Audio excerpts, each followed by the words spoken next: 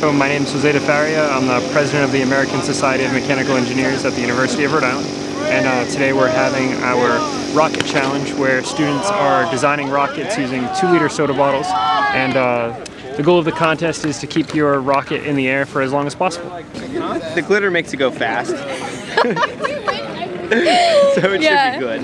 That's probably all the See, you know, in our initials. Yep, and our initials right on the bottom had to. This is probably Yeah, the best it's design Probably the rocket. best looking one.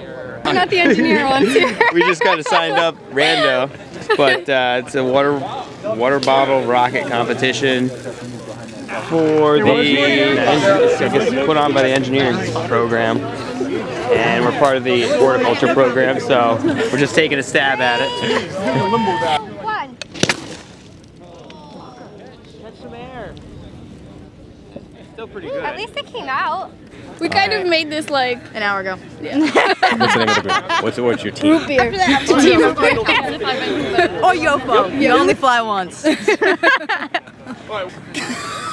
You guys get a second launch. we get two launches? Our first launch might die then. I think it's, I think we're Will done ours after one. survive? I think ours is gonna be just one.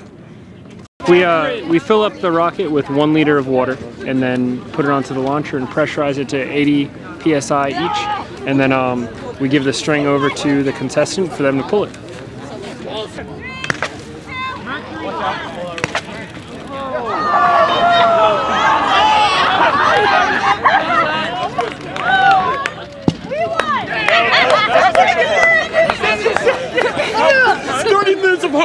Um, originally registered, we had 30. We got an extra five or six now. Um, we may even get more. So I'm thinking uh, probably have somewhere between, somewhere around 30, I guess, by the end of the day.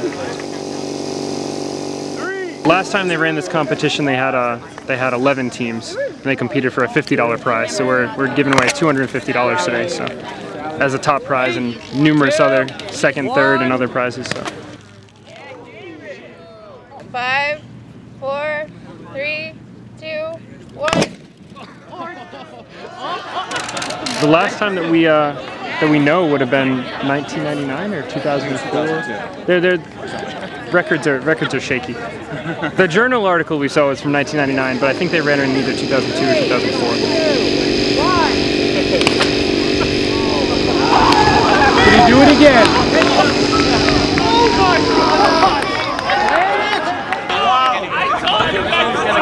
Close to that. That was at least a minute.